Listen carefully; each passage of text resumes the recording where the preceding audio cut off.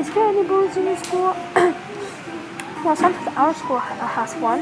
Hi, I'm Pluto. I have a BFF named August, and I sometimes call him Auggie.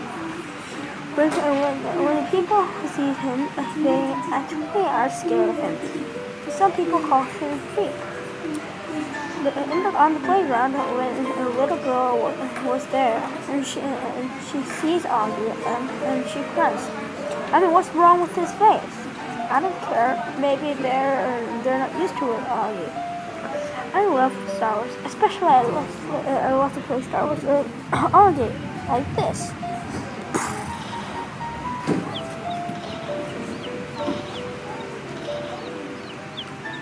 My mom broke her leg just like this. Ugh. And I was kept forgetting to bring my science homework. For some reason, Auggie and his sister kept arguing for the name for their dog. I kept calling my mom Lisa. I never listened to my mom. Guess what do I? What do you?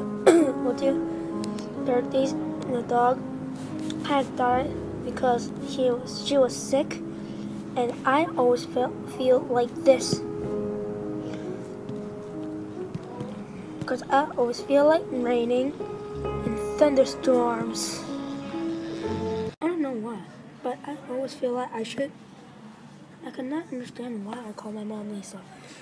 And I keep being mean. Why am I keep being mean? When my mom broke her leg, what am I supposed what am I supposed to do? I should apologize to my mom. You know what? My friend should needs to apologize to my friend Auggie too. Even though his face is weird, but I don't care. I was wrong when I called my mom Lisa, so I always feel it's gonna rain for myself. And I always feel I'm gonna, you know, I should try my best in school. I should apologize to my mom. And guess what? I always call her Lisa, which I should apologize to her hundred million times. It was 11.15 that time. I couldn't do my homework. I asked my dad if he could help me on my math homework. I missed my mom. My mom could help me my homework, but she was sleeping in her room. My dad couldn't uh, could not help, so I call Auggie because he's expert at math.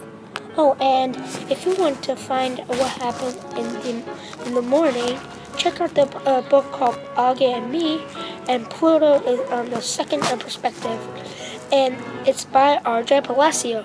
See ya.